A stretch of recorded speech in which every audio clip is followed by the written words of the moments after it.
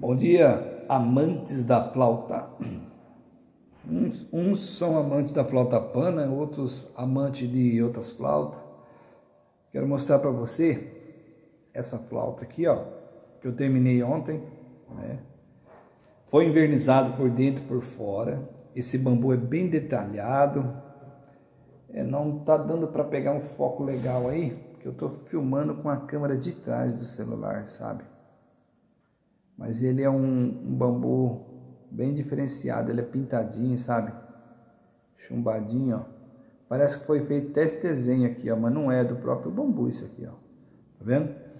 Foi envernizado por fora, verniz automotivo e também por dentro.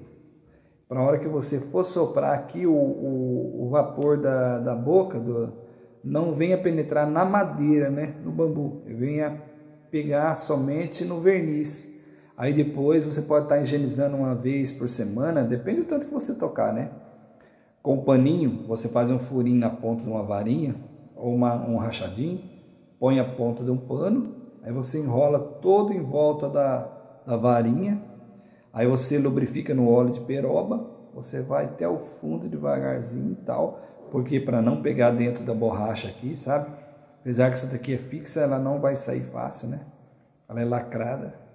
Eu uso aquelas...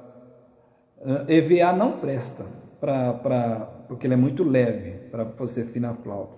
Eu uso a borracha que é feito chinelo havaiano, entendeu? Você compra as placas, com o vazador você tira ali, já no diâmetro e coloca, entendeu?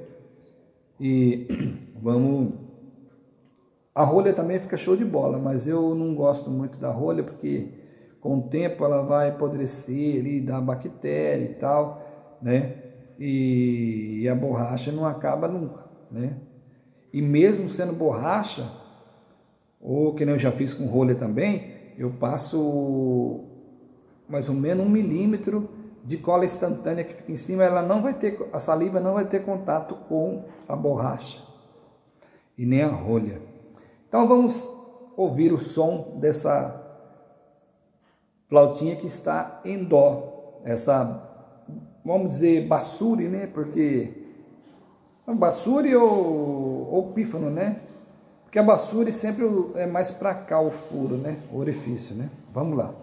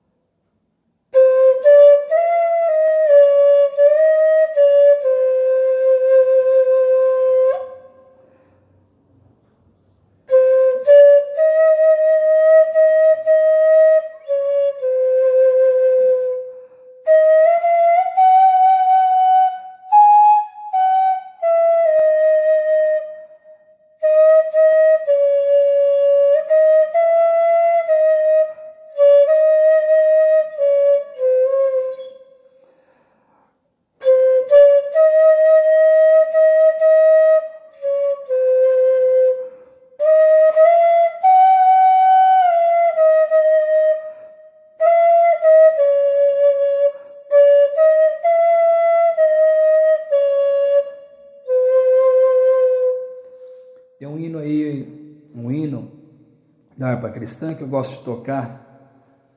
É, ao findar o labor desta vida, né? Que na flauta aqui para testar se ela está ok, ela fica bom.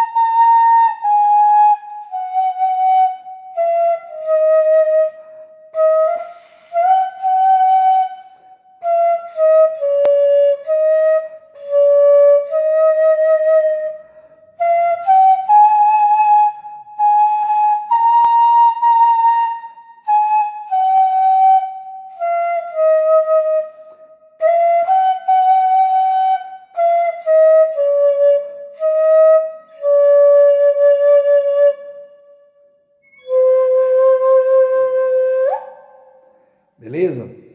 Eu aprendi a fazer a flauta, mas eu ainda apanho na embocadura aqui, tá? É isso aí, pessoal. Queria deixar para vocês aí do Facebook, do YouTube. Muito obrigado vocês que curtem os vídeos do Paulo Novelli aí, beleza? Fique com Deus.